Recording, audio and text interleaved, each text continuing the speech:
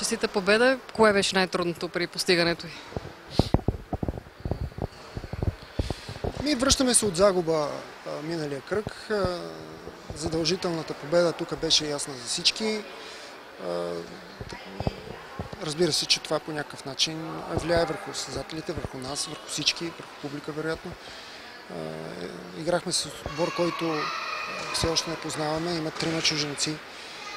Не знаехме почти нищо за тях. От един матч, от два матча не могат да се вадят някакви изводи. Така че за нас беше доста трудно.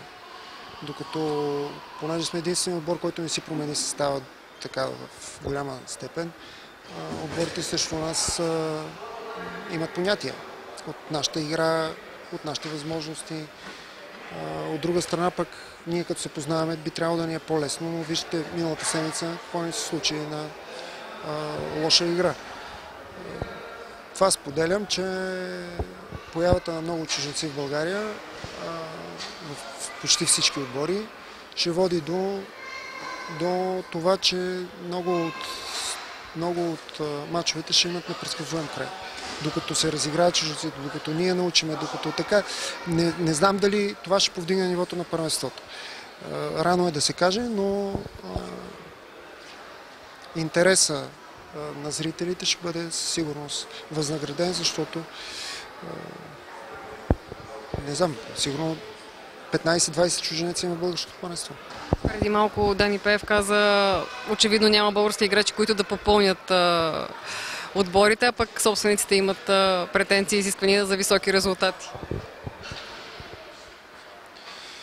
А, Добре, щом е така, значи ние сме свършили прекрасна работа, защото сме с българи. Позитивното днес в играта на ЦСК, кое е според вас? Ми, ние- ние не играхме добре, пък победихме. А, Все още имаме, а, според мен, много неща да изчистваме. Има състезатели, които не са в, а, не са достигнали до, до обичайната си форма. Имаме много работа. Първенството а, е много интересно с всички тези амбициозни отбори провинциални. Така че за нас остава много работа, много, много амбиция. Със сигурност може да се очаква интригуващо първенство. Какво сгреши Влади Станков, че да предизвика гнева ви? Нищо не е, просто се объркал момчето. Оценявате конкуренцията тази година? Толкова много чужденци или още е рано да говорим? Трябва е да се каже а, за нивото на чужденците. Аз не, че ние нямаме чужденци.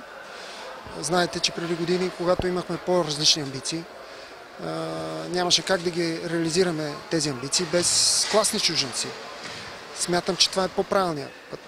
Да се взимат класни чужденци за повече пари, които със сигурност да повишават нивото на собствените кадри. Бюджетите на клубовете растат. Факт е това нещо. Но не е достатъчно, че да си позволяваме класни чужденци. Наистина ние не сме били в състояние в такова през лятото, че да се чудиме какъв отбор да правим. От тази гледна точка, вероятно колегите ни избират средностатистически чужденци, които да дойдат. Тук е ключовия момент. Какво ще доведе това?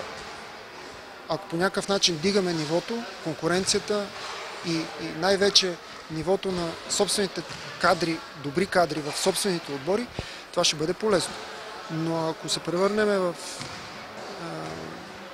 е- една притегателна сила за, за ниско разредни чужденци, а, да не се превърнем като футбол, като баскетбол и така нататък.